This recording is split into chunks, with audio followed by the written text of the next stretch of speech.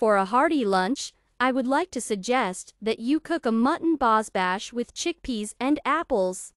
The mouthwatering dish combines different flavors of vegetables, meat, and fruits. I recommend everyone to try and appreciate the Azerbaijani dish. The recipe from the category Azerbaijani cuisine and consists of 11 cooking steps. The complexity of the dish.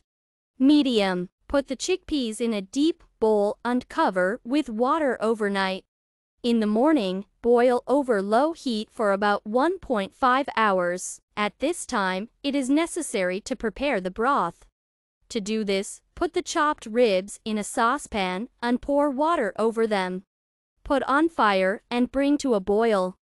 Then remove the resulting foam and add one peeled carrot and one onion to the broth. Put the bay leaf and pepper in the same place. Cook the broth under a lid over low heat for about an hour. After a while, remove the vegetables from the broth, they will no longer be useful, and put the ribs on a separate plate.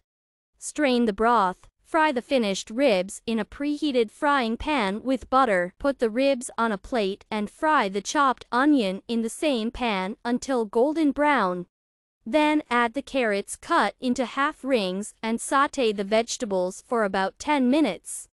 After that, add the peeled and chopped tomatoes to the contents. Simmer the vegetables for another 7 minutes. Remove the core from the apples and cut them into small cubes. Put the ready-made chickpeas, fried vegetables, ribs, chopped bell peppers, and apples in a saucepan. Pour the broth over everything and cook for 30 minutes over low heat. After the time has elapsed, add the diced potatoes and cook until they are ready.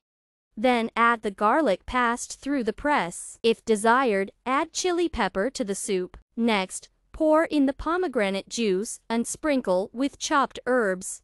Add salt and pepper to taste.